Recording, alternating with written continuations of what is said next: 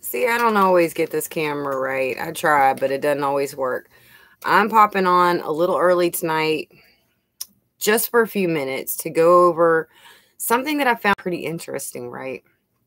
If any one of you has ever seen the prophecy of Ken Peters back from the 80s, 90s, I think, the link is down below, along with the link for the article I found yesterday. Okay. And it shows mostly, I mean, there's still that one last step to be added, but you can see that it's all in the works. Okay. Hello, Kathleen and Joanna. It's good to see you. Very glad to see you. This is just going to be a short one tonight. Um, the video, I can't play it, but it's titled New ATM in Virginia with a medical ID scan and palm scan.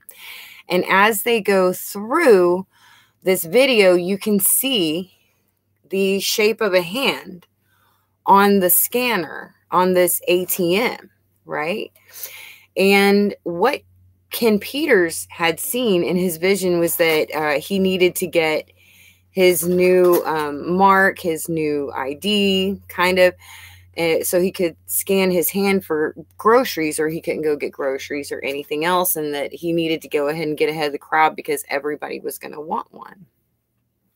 And what he had seen was uh, a hand scanner with a hand on it, just like we're seeing in this video, but there was something added to it. In the webbing of the hand on the right hand, there was the shape of a sun. And that was a mark, all right? That was the mark he had seen on the right hand in the webbing in order to do the scan.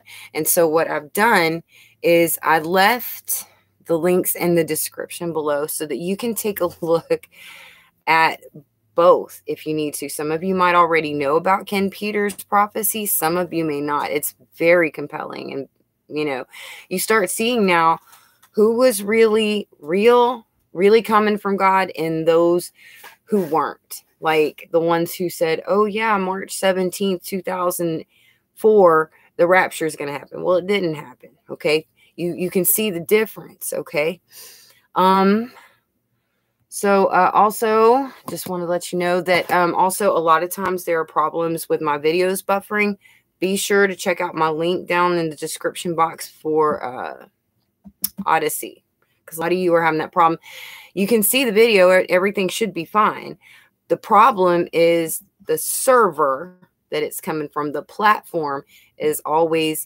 giving me problems because once it's in this cloud, you know, it's definitely not my system doing. It's been done for hours, right? Hello, Debbie and Drummond Son. All right.